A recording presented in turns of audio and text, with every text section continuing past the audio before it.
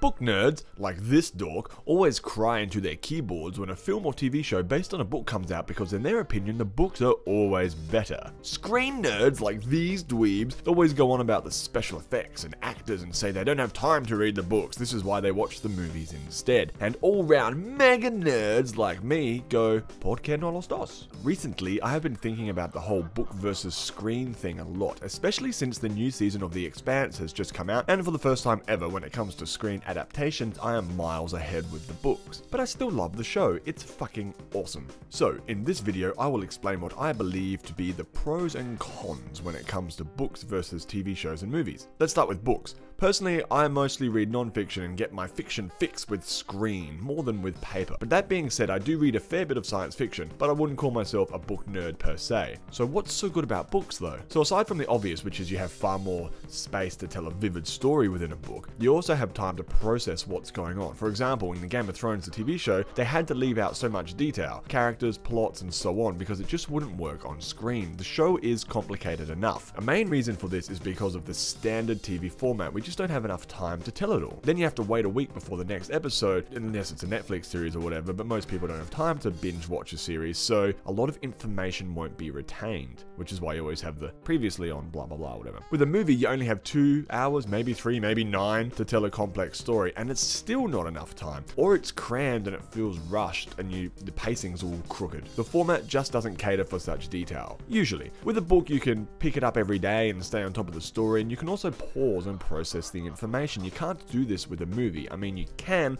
but stopping and starting a TV show all the time just isn't natural. It, it, it would actually be a detriment to the show. But this is not the biggest issue I want to discuss. The main reason I love a good fiction novel from time to time is that, from a storytelling point of view, you get two very important things that you rarely get in film. You do get it sometimes in film, but it doesn't always work because it's very hard to pull off effectively. This is one, the first person perspective, and two, a narrator.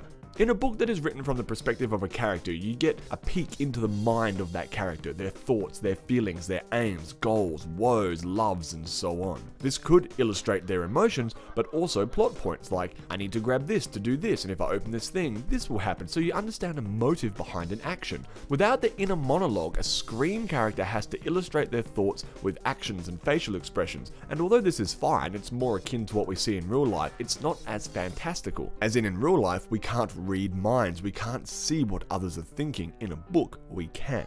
This is not exclusively a book thing, however. A show like Dexter had the protagonist narrate every episode. It gave us insight into the mind of our anti-hero and it worked very, very well. However, this is still a rarity as it often doesn't work so well and most shows and movies avoid narration altogether, be it first or third person narration. A narrator can also tell you what the person is thinking.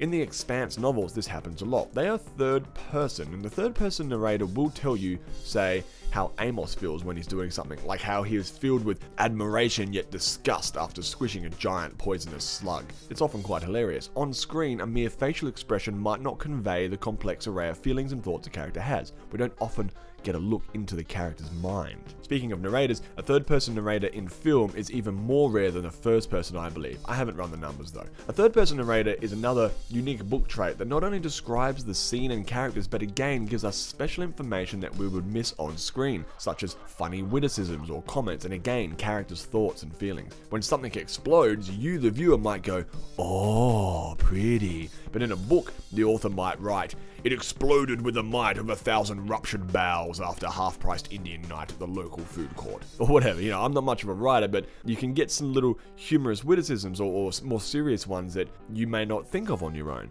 The point is that writing is not just about telling you what happens in the story, it's about illustrating, adding color and personality, it's adding spices to the stew. It gives you insights into the mind of not just the characters, but the author as well. In film, you don't often get this, in this particular way anyway. There is one major thing for me that you don't get in books though, and this is why I love film so much music. We should all be able to agree that music evokes much emotion. Asking someone if they like music is like asking them if they like food. I know not everyone is a music nerd, but there are very few people who don't like music. I mean, I've never met anyone who doesn't actually have an opinion on music, except for like kids maybe. I don't know, like young kids. They, they don't know what's going on. They're too busy eating sand. The audio and visual thrill is why I love sci-fi and fantasy so much. I don't watch much drama or even thrillers or even that many comedies.